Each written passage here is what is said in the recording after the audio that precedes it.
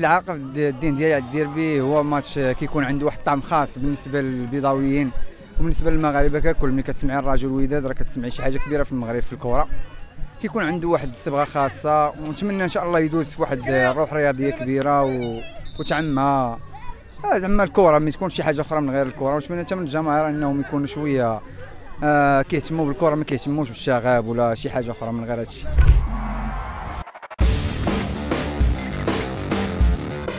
الديربي ديال الرجاء أنا لعبت جوج ديربيات مع الرجاء والوداد آه، خسرتهم بجوج. فهمتيني؟ خسرناهم بجوج مع الوداد آه، كانت آه، ولكن الحمد لله ظفرنا بالبطولة في 2010 2011